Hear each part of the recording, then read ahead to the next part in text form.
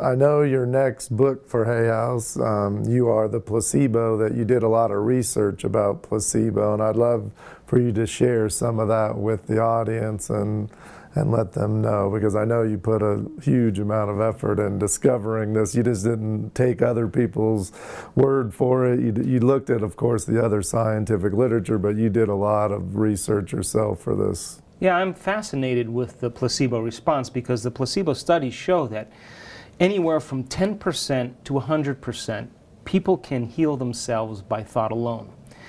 And when we are told that um, a sugar pill or a saline injection or a sham surgery can produce some biological change in us, that for a certain percentage of people, they actually begin to select the potential in the quantum field called I am healthy, and they begin to emotionally embrace what it would feel like to be healthy.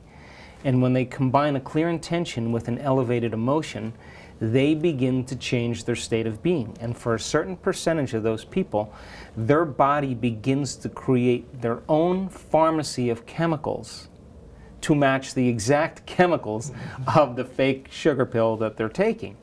So people would say that it's their belief in the, the saline injection or the drug or the surgery that gets the person better.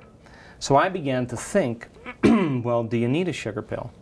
Do you need a saline injection? Do you need a sham surgery to cause people to move into these state of being, these states of being? In other words, can you teach people how to do it? And so some of the workshops that we've been doing around the world in the last year and a half or so is it's, it's become very clear that we've seen people heal themselves of MS, of lupus, of chronic pain, of Hashimoto syndrome, of cancer, of diabetes. I mean, this is uh, real scientific evidence that uh, they're really making some substantial changes by thought alone. And so that started happening right in real time during our events. In other words, someone with MS that was paralyzed in their leg who moved around in an automatic uh, motorized wheelchair is now standing up in front of the room and running around the room. Uh, you got to start thinking, how did that happen?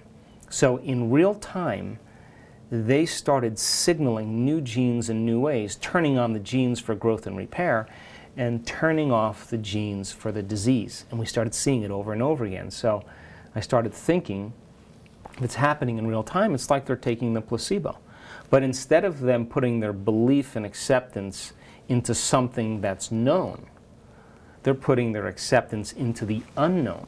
And they're continuously re revisiting it until they made it known and their body began to respond to their mind.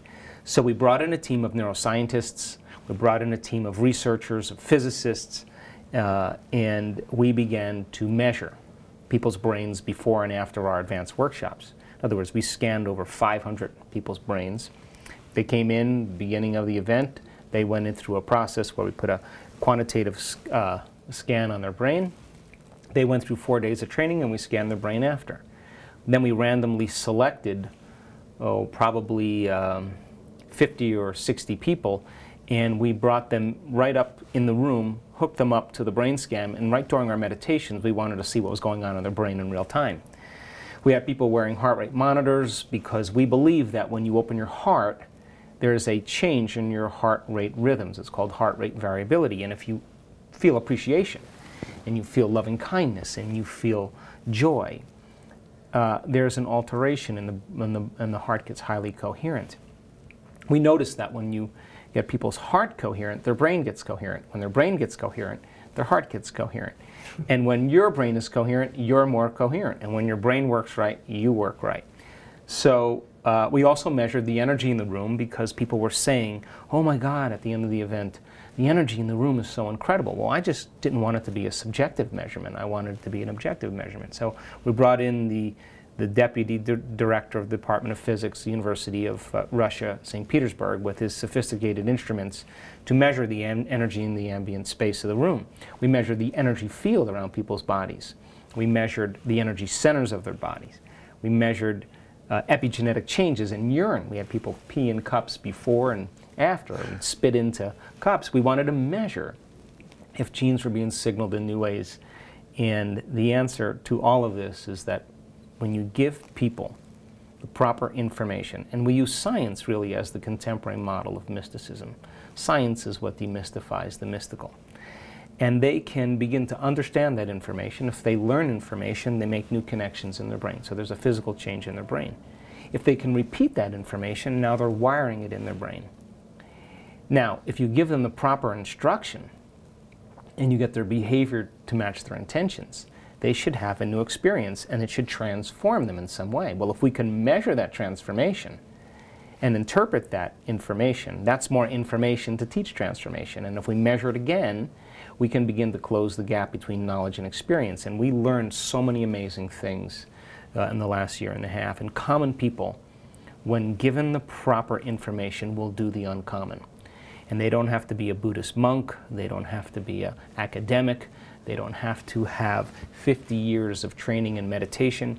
You can develop a skill. And we saw people heal themselves by thought alone. So when I started seeing this pattern, people were doing it uh, by thought alone. Uh, we decided to write this book called You Are the Placebo Making Your Mind Matter. And we now know that you can invest the same belief, acceptance, and surrender to that outcome without analysis. And when you understand the scientific principles of how the placebo works, you can omit that thing that exists outside of you that you believe is going to change you and begin to cultivate that state of being from inside of you. And when people are able to do that properly, uh, they produce the same biological changes if they took the placebo, and they're healing themselves by thought alone.